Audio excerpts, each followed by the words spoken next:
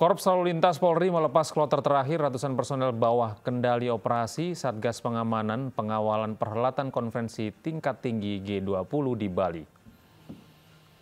Kloter terakhir ratusan personel BKO Satgas Pamwal dilepas di lapangan Korlantas Polri, Jakarta pada Senin siang. Ada 80 kendaraan roda 4 serta 265 personel dalam pelepasan kloter terakhir ini.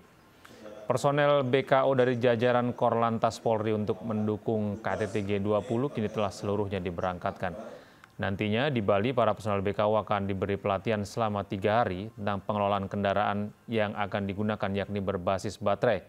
Dirgakum Korlantas Polri Brigjen Pol Aan Suhanan juga meminta seluruh jajaran yang bertugas untuk bersikap humanis selama kegiatan KTT G20 di Bali.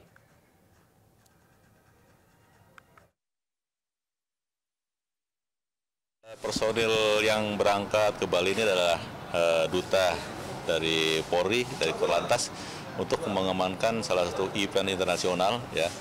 Mudah-mudahan ini bisa berhasil. Tadi sudah kami sampaikan bagaimana apa yang apa yang harus dilakukan di Bali ya. Ini membawa nama baik Polri